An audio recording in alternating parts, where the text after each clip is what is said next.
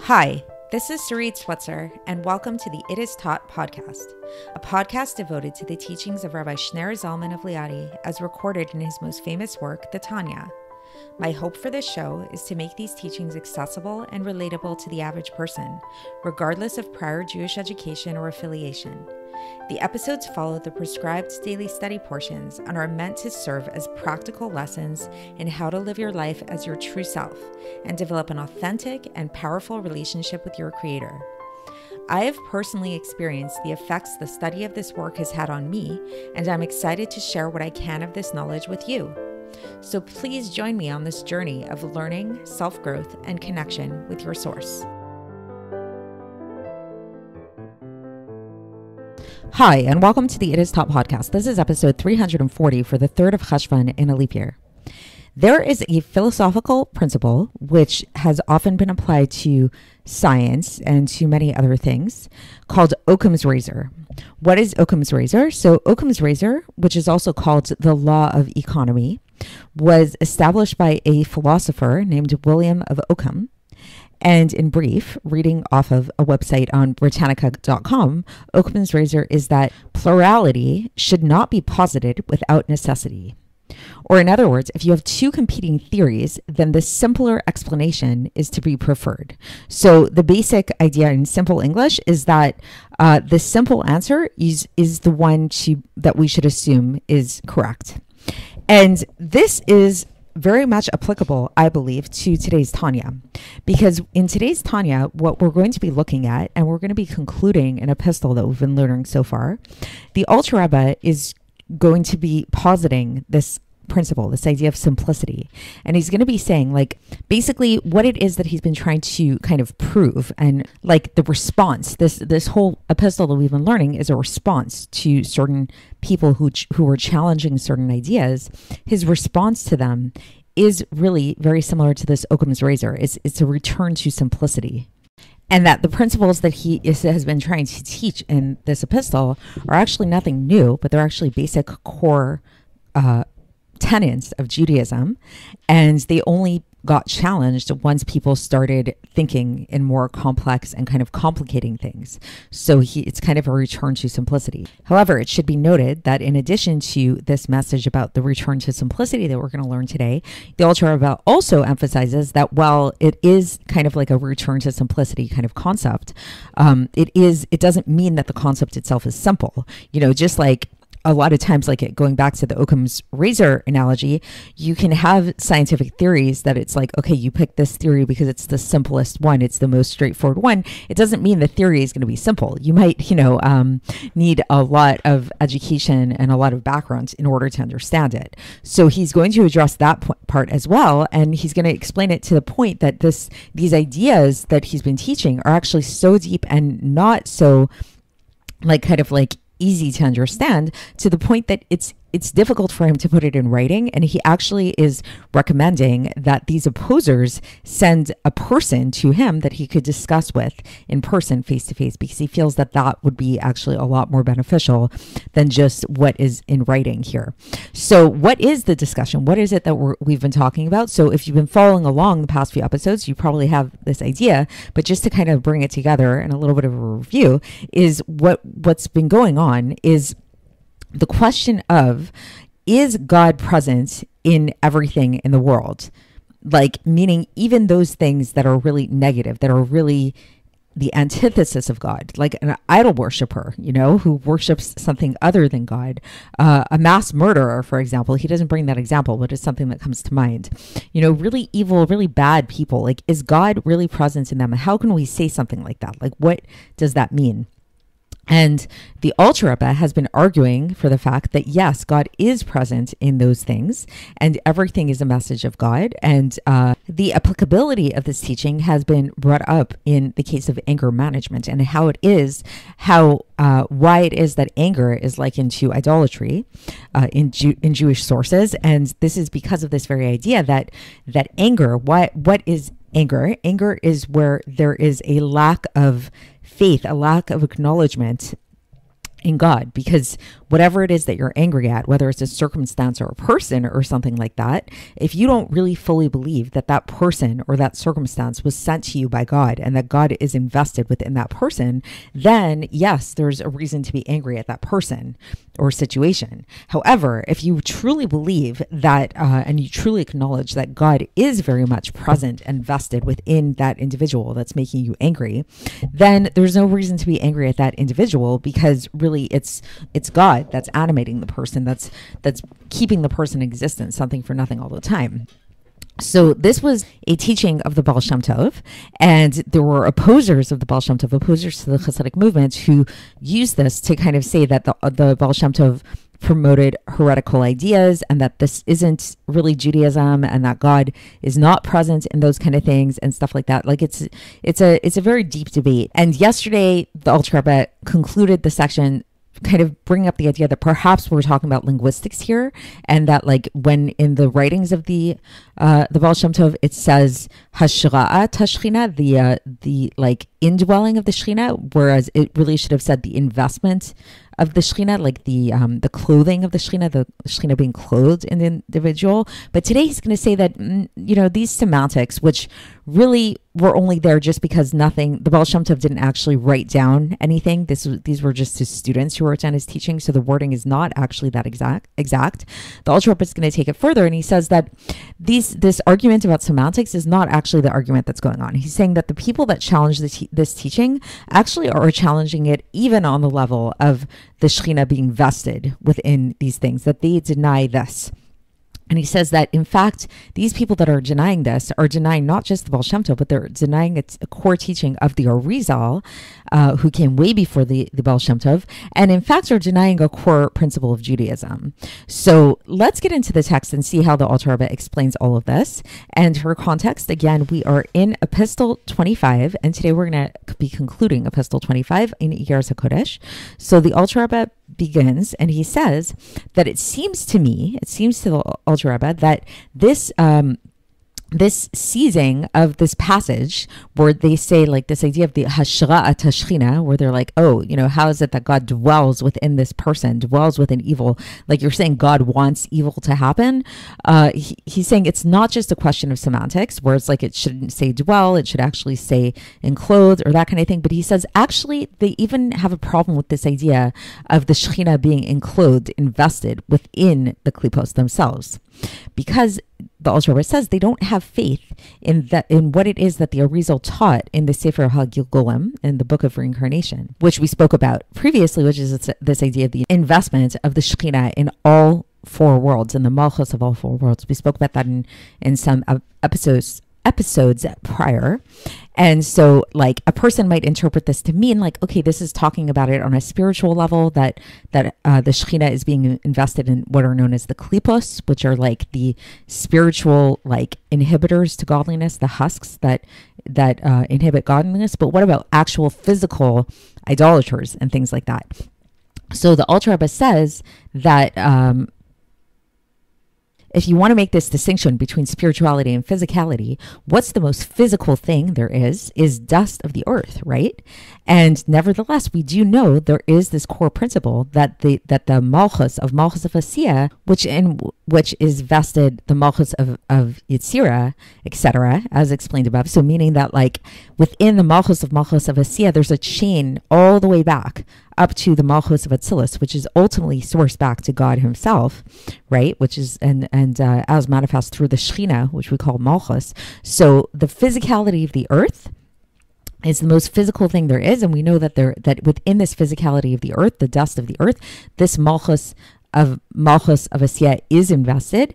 And so why is it like if, if we if people can accept this, that okay, yes, uh, the Shekhinah is invested within those things, then why would somebody have a problem understanding the idea that the Shekhinah would also be invested in the impurity of the Gentile nations, of the Gentile souls? Uh, because these souls, they also come from this zivug, from this union of the Zer Anpin and the Nukva. The Zer Anpin is the the masculine elements, it's the the six uh, emotive attributes, and the nukva, the malchus of of the the spiritual klipos. As is written in the writings of the Arizal. So it's like basically the Rebbe is saying you can't really make this distinction between physical and spiritual. Like you can't just say that like okay, we know that the klipos from come, come from God and that whole outline of the klipos come from God, but and come from the Shekhinah, but physicality that's something else, and like you know physical idolaters that's something else. It's like no, because what is the source of these idolaters? They come from the klipos, which come from God, and so this shows that the spirituality is the source of their impurity. So then the Rebbe says, he says, but truly, you know, he kind of like takes a step backwards here and he says, it's true that this actually needs a very broad explanation. How does this investment happen?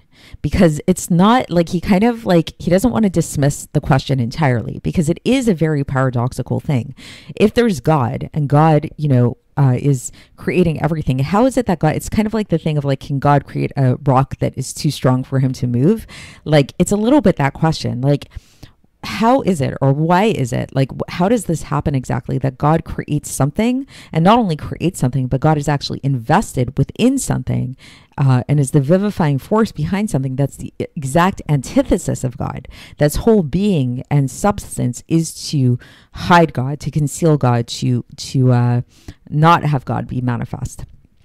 So so the Alter addresses this question and he says that the truth is um, this this complete this question this uh, challenge is not to us. We he says we aren't the originators of this idea but it's actually in the writings of the Arizal so he's kind of like relying on the teachings of the Arizal he's saying I'm not inventing these ideas. It's coming from the Arizal and he says that and people shouldn't imagine that maybe I'm like misunderstanding the Arizal somehow and that um that it's that it that I'm like somehow taking them out of their context because no, he says, I'm here only in order to explain the teachings of the Baal Shem Tov, uh, of blessed memory, and his students according to the Kabbalah of the Arizal. So he's basically saying again, he's relying on the teachings of the Arizal. These aren't just his ideas that he came up with out out of the blue.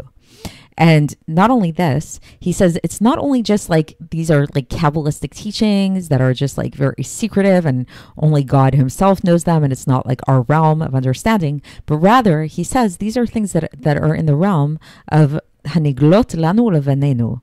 This is the this is a, a citation from Devarim, chapter 29, verse 28. So the first one is like in that verse, it's um, it's it's it, it has hanistorot laHashem Elokeinu, those things that are concealed to God, and then haniglot lanu levenenu, that are revealed to us and to our children. So he says there's some things truly that are concealed and are the realm of God, and then and then there are things that are revealed to us. So he says this category of thing that we're talking about, yes, it's something that might be like really difficult for us to understand, but it's not actually in the realm of just like pure Kabbalah that is outside of our realm of understanding. It's actually something that is revealed to us, and we should with this with this principle is something that we should have total faith with full faith in this principle as is manifest through um, a, a, verse that's found in Yirmiyahu chapter 23 verse 24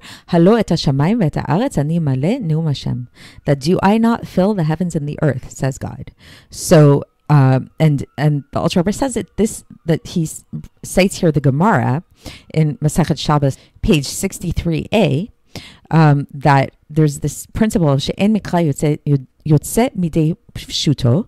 Scripture does not depart from its plain meaning. So, meaning to say, when we say, do I not fill the heaven and the earth about God? That means God literally fills the heaven, heavens and the earth.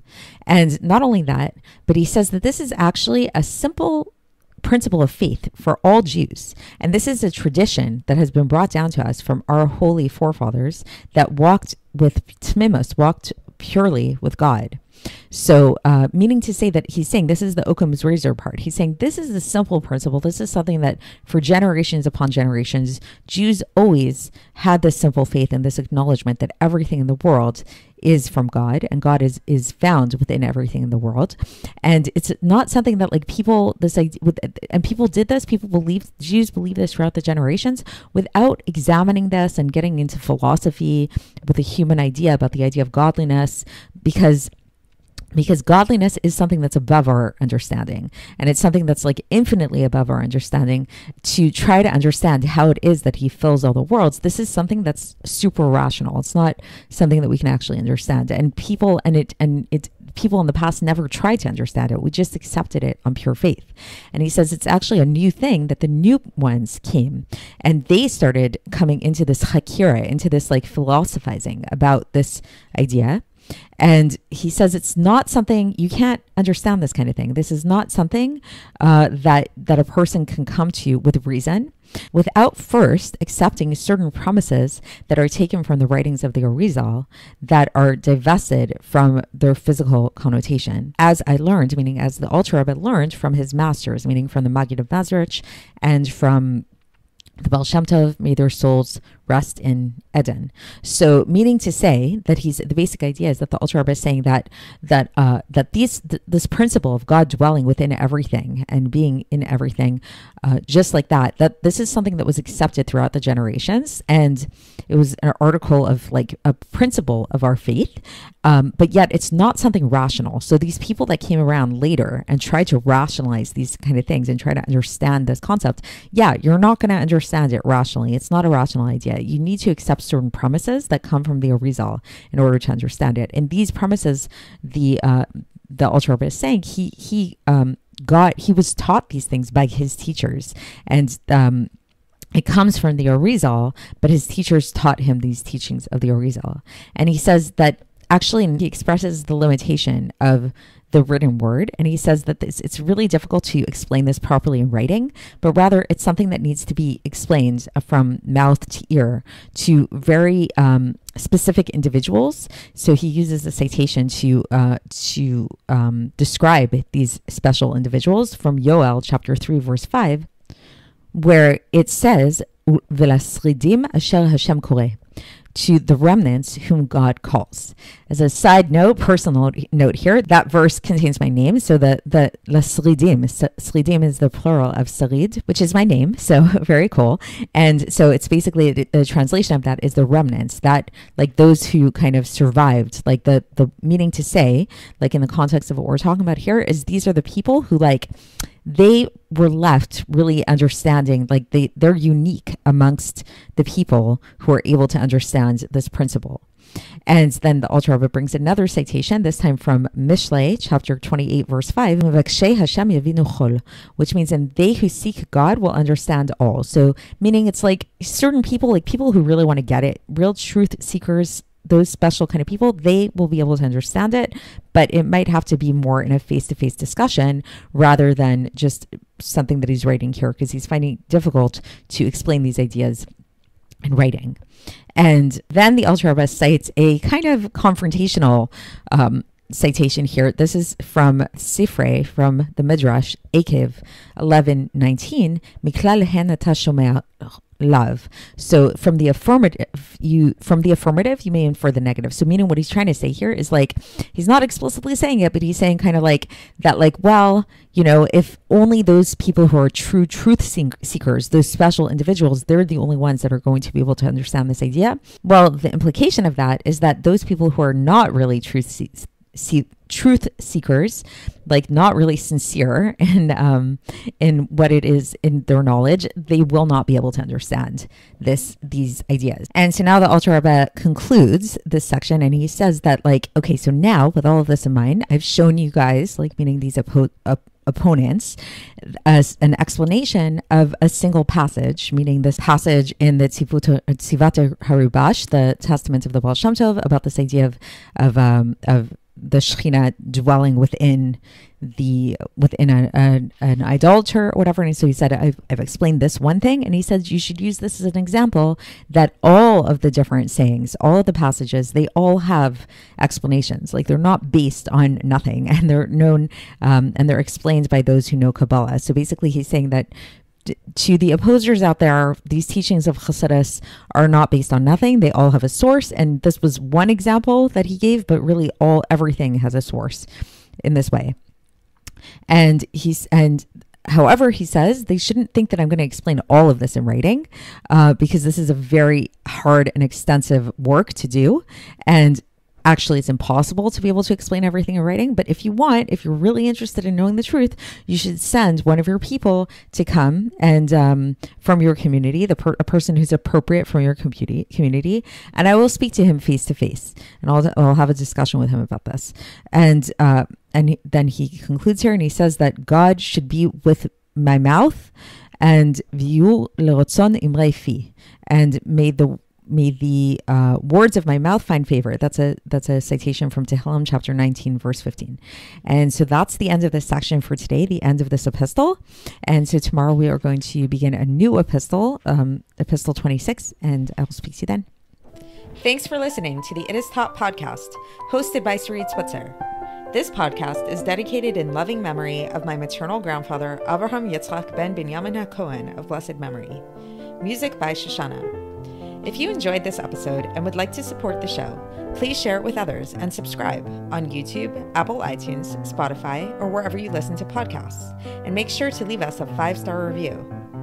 To find out more about the It Is Taught project, including more information on my soon to be published book, please visit our website, itistaught.com. To catch the latest from me, follow me on Facebook, Instagram, and Twitter. Looking forward to speaking with you tomorrow, and until then, have a great day.